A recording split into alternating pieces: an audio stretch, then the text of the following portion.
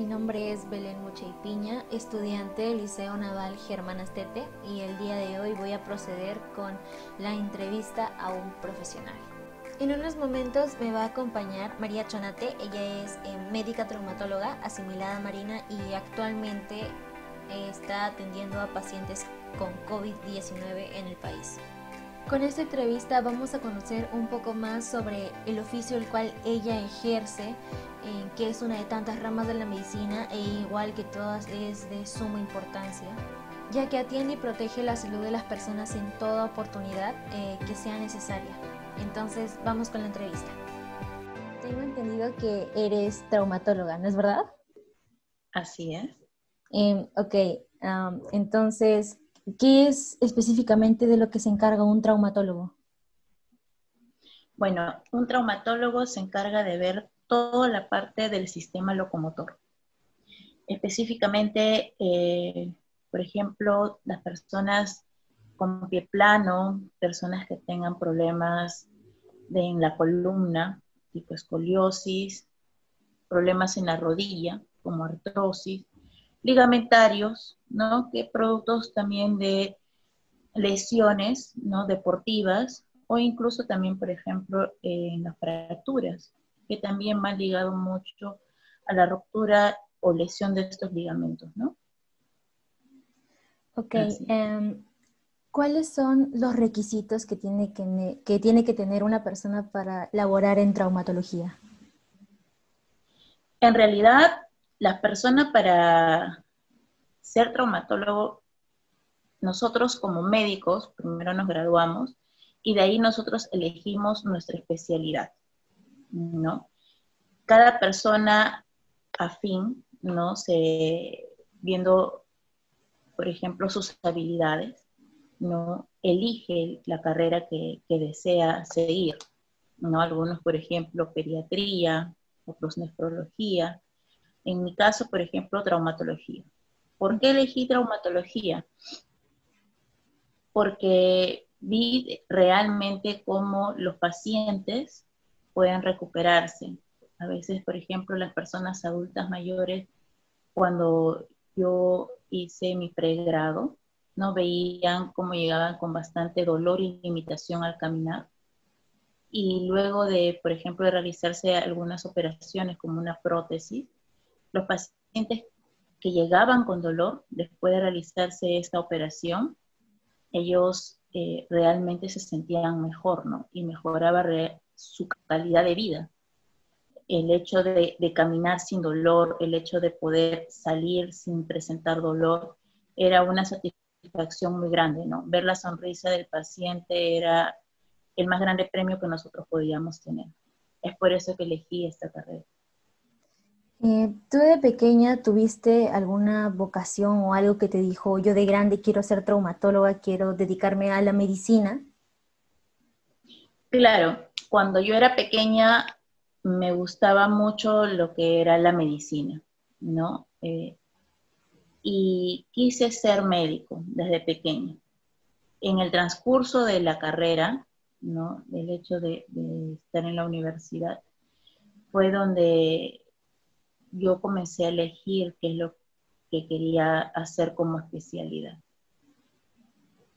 Eh, hay personas que creen que ser médico eh, requiere de mucho carácter, porque no puede ser eh, alguien que dude en un momento de estar en algún caso que, no, que no, Dios no quiera, muy grave, y estás demasiado dudosa, estás que quieres hacer una cosa, pero la otra es mejor, quieres el bienestar de tu paciente. ¿Tú cómo reaccionas diariamente cuando tienes algún tipo de casos así? Lo que pasa es de que nosotros cuando recibimos al paciente, el paciente es un todo, ¿no? Entonces, eh, nosotros debemos tener el primer principio, ¿no? Es que es premium non non seren, que es primero no hacer daño. Entonces, realmente cuando nosotros tenemos la capacidad de hacerlo, lo vamos a realizar. Es por eso que existen también varias especialidades, porque el médico no es todista. El médico para ello se prepara y nosotros, dependiendo de la especialidad de que el paciente requiera, por eso lo derivamos. Y es por eso que nuestro trabajo es un trabajo multifuncional, eh, ¿no? Para que nos diferentes especialidades podamos abarcar las diferentes patologías que pueda tener un paciente. Entonces, cada médico dentro de su especialidad va a elegir lo mejor para hacer eh, para este paciente. Ok. Em, ¿Cuáles son los casos más frecuentes por los cuales la gente va a traumatología? En traumatología, las fracturas, las caídas, ¿no?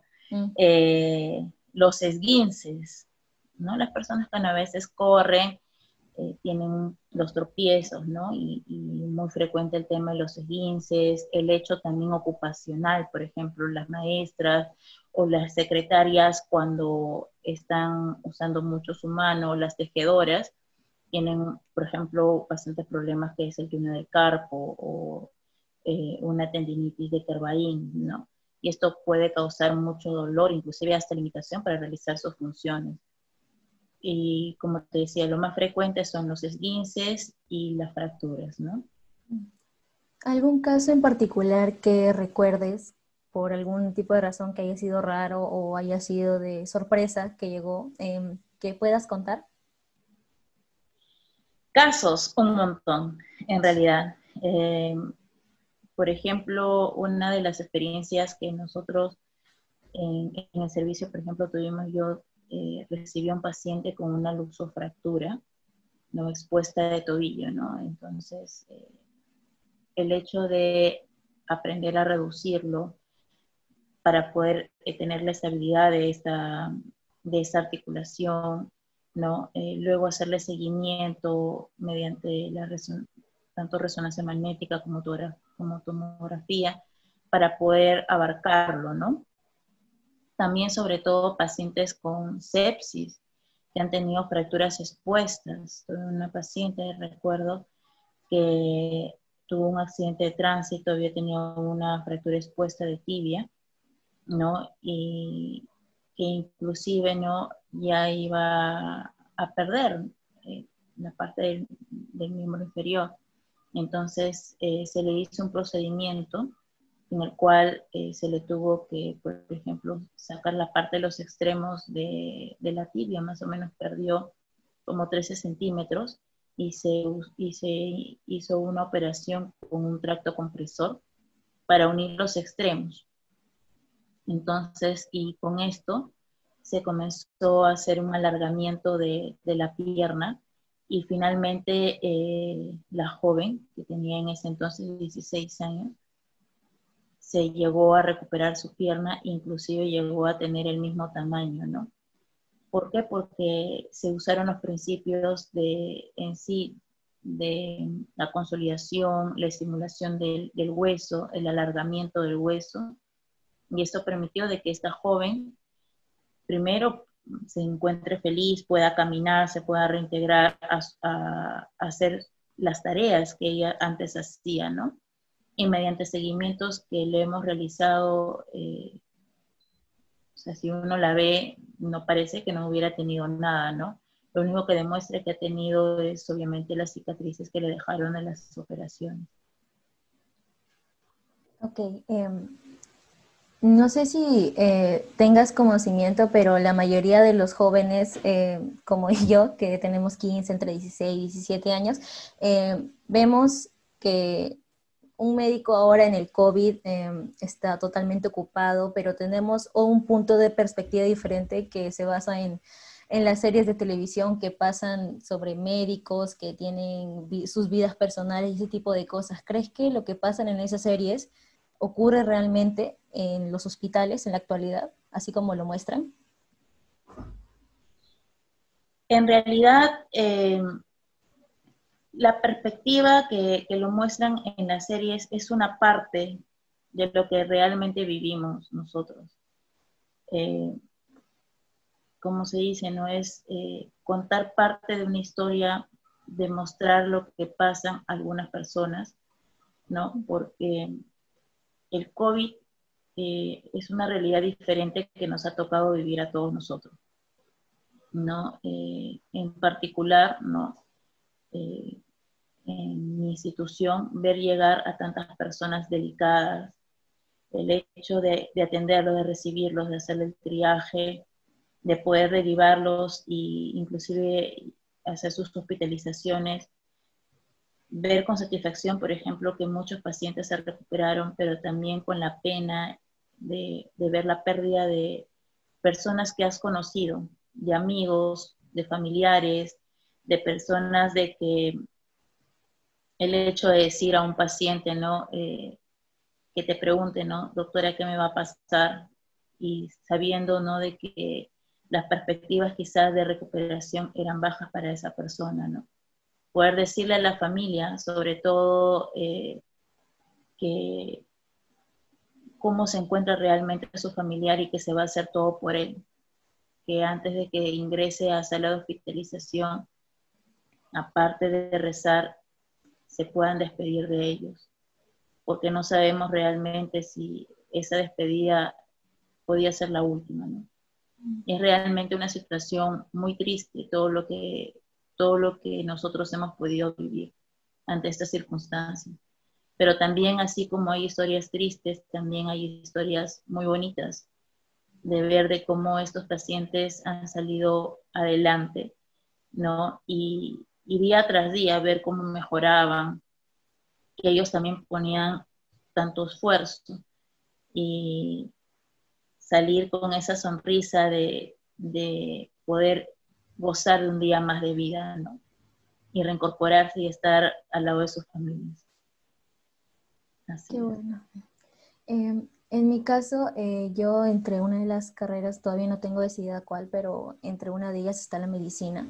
Y no sabría de verdad cómo entrar a un hospital y tener que de un momento a otro tener una vida en las manos y qué pasa si, si no puedo salvarla.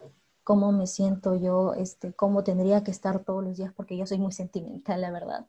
Em, cómo tendría que tener la mentalidad yo cada día. Cómo tienes tú tu mentalidad cada día que ingreses al hospital y ves de pronto a un niño que sale con una sonrisa porque se mejoró o ves a una a otra persona que está muy triste porque perdió a un familiar.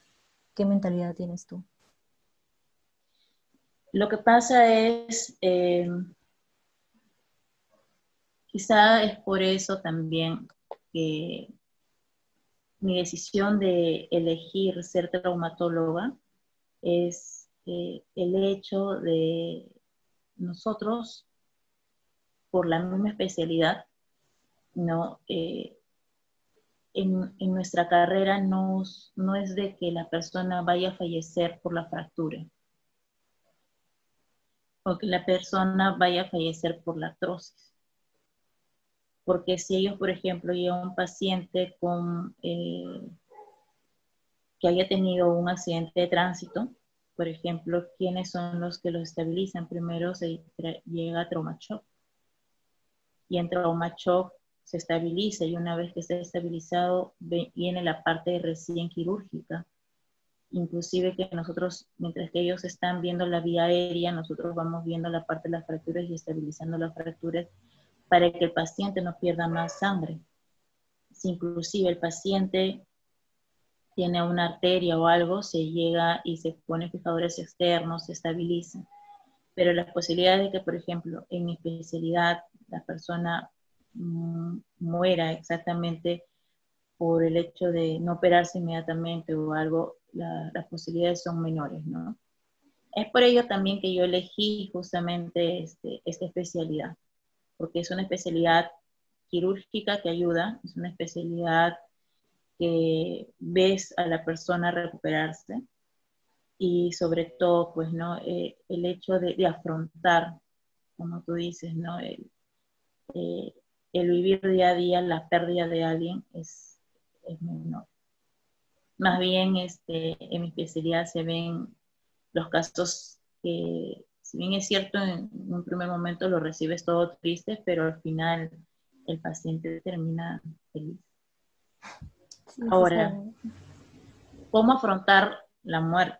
Ese es un tema muy difícil, es eh, el día a día de que en verdad, por ejemplo, en las especialidades tanto de, de los sociólogos como los emergencistas, los oncólogos, ¿no? Que lo viven día a día, ¿no? Porque son personas que ya están en una etapa un poco más delicada de, la vida, ¿no? Este, y ellos viven de diferente forma la, etapa de la muerte. ¿Por qué? Porque ya saben ¿no? las circunstancias que, pueda pasar. Entonces, eh, nosotros como médicos, inclusive psicológicamente, la, quizás la primera muerte de algún paciente siempre la vas a recordar y es afrontarlo, pero sobre todo es ver la realidad, porque algo muy importante que nosotros tenemos que tener en cuenta eh, es no hacer sufrir al paciente. Si el paciente está mal, por ejemplo, nosotros hacemos todo lo posible, pero también existe, por ejemplo, el término de no usar maniobras invasivas que es donde se conversa inclusive con la familia, ¿no?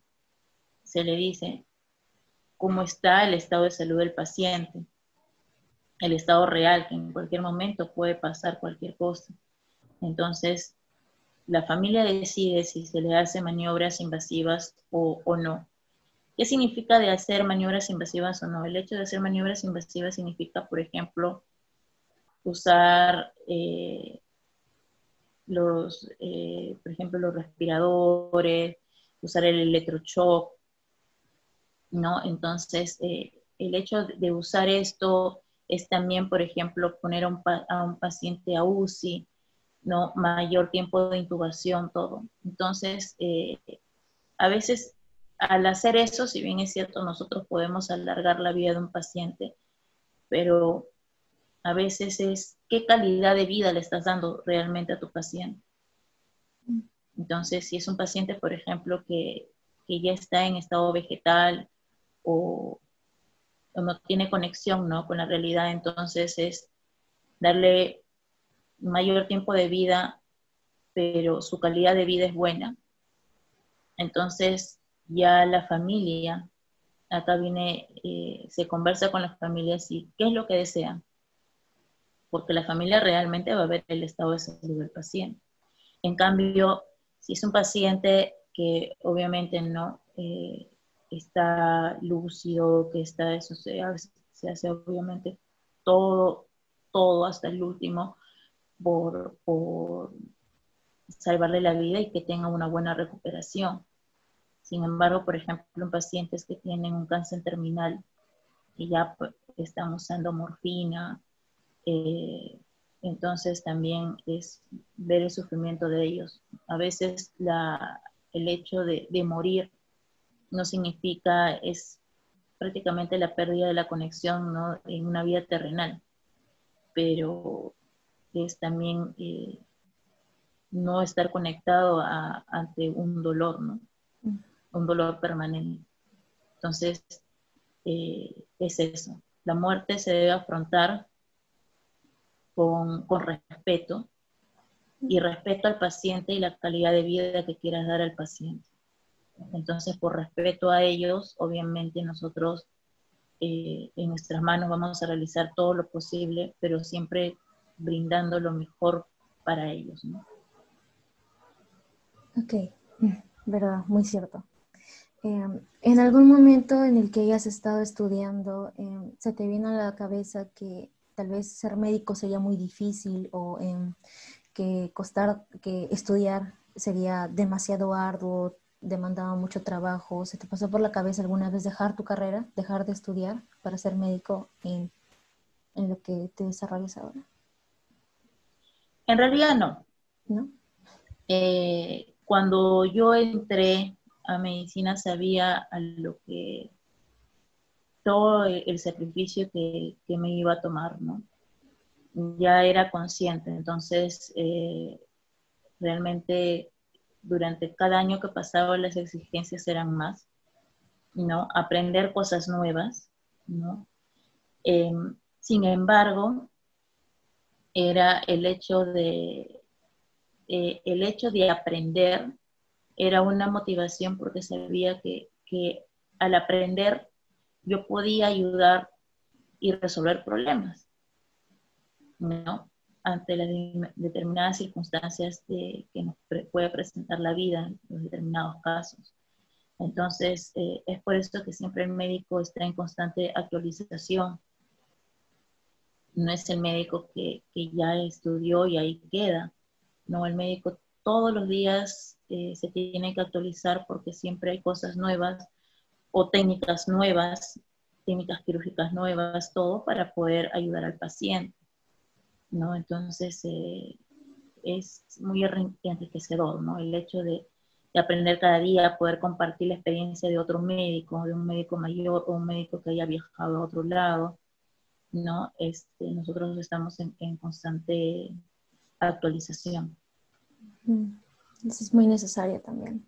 Con esto de, del coronavirus es necesario aprender muchas más cosas para ayudar a, a las personas a, no solamente a, si tengo un dolor de mano, a calmárselo, o me rompí el hueso o la pierna, ese tipo de cosas también entra creo yo, el apoyo emocional que a veces este, un médico da, diciendo que todo va a salir bien, que, que siempre va, la familia siempre va a ser la primera en presentarse ante una situación como esta y el médico siempre va a estar ahí apoyándolos, diciéndoles qué cosa tienen que hacer, qué no. Y creo que su trabajo es muy necesario, sobre todo en estos tiempos de pandemia de verdad. Yo y creo que todos aquellos que van a ver este video o solamente mi profesor, eh, vamos a estar muy agradecidos con personas como ustedes, de verdad. Muchas gracias.